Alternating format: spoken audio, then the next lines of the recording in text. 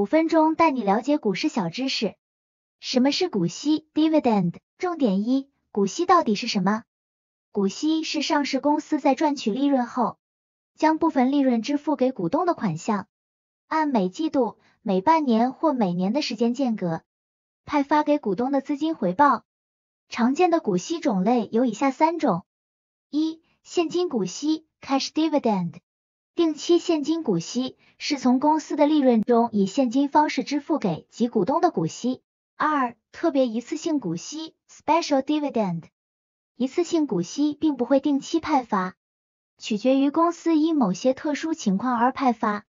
三、股票股息 （dividend reinvestment plan），公司将股息以股票的形式派发给股东，从而实行股息再投资计划。重点二。股息四个关键日期须知：一、股息宣布日期 （Declaration Date），上市公司的董事宣布计划将支付股息的日期以及相关的信息。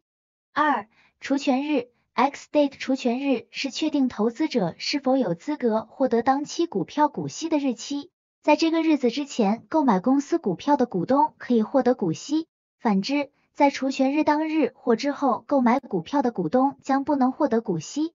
通常，股票的除权日是登记日的前几个工作日。三、股权登记日 （Entitlement Date），这是登记股东股权的一个日子。如果在除权日之前购买股票的股东将会被记录在公司的股东名册上，这些股东才有资格获得这个时期公司宣派的股息。四、股息支付日 （Payment Date）。也就是公司真正支付现金股息的日期。重点三：如何看你是否有资格获得股息？看看以下案例：当你在七月三十一日卖出 A 公司股票时，你将不能获得股息，因为 X date 是八月一日。至于当你在八月一日当天或之后卖出股票，你还是能获得股息。如果你是八月一日当天或之后买进股票，你将不能获得股息。八月五日 entitlement date 是你所拥有的股票数量会记录在系统内，所以基本上大家可以忽视 entitlement date。当你在八月一日之前持有 A 公司股票，你将可获在八月二十七日当天收到股息的钱。结论：当你在查看派息文告时，你只需需要注意 X date 和 payment date。只要你在 X date 的前一天持有股票。你就可获得股息。重点四：如何计算获得多少股息？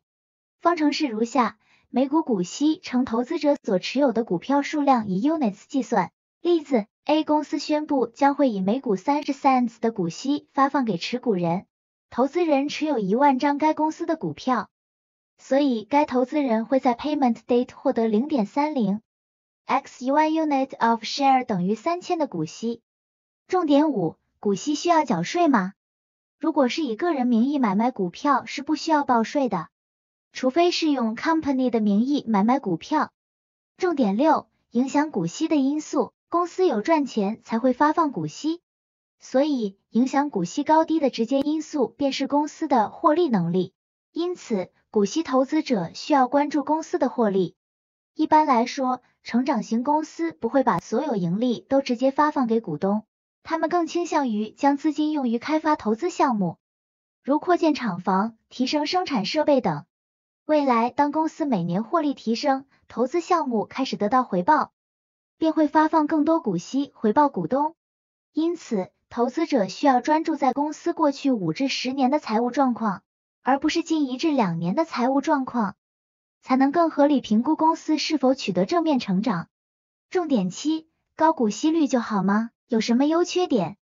优点对投资者而言，高股息率代表每年从股市获取较高的股息，可将股息重复投入买进相同的股票，或是投资在其他资产，透过复利的力量，让资金增值最大化。对需要从股息得到稳定现金流，特别是以股息支持财务自由、退休生活的投资者来说，股息越高，手上的现金流便越宽裕。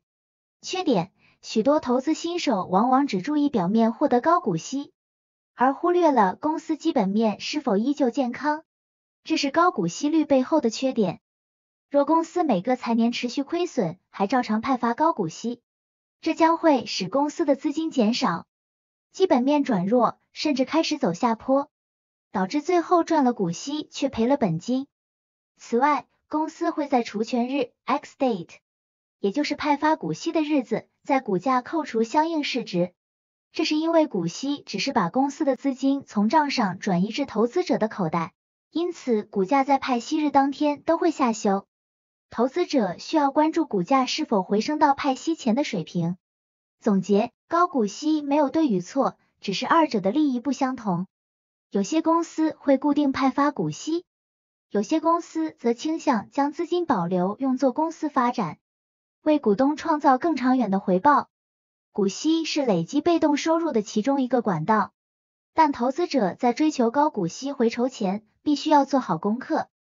优先选择基本面稳健、近五至十年获利能力明显增长，且连续五年派息稳定的公司。进场后也要长期追踪公司的财务表现，才能每年安心享受股息的收益。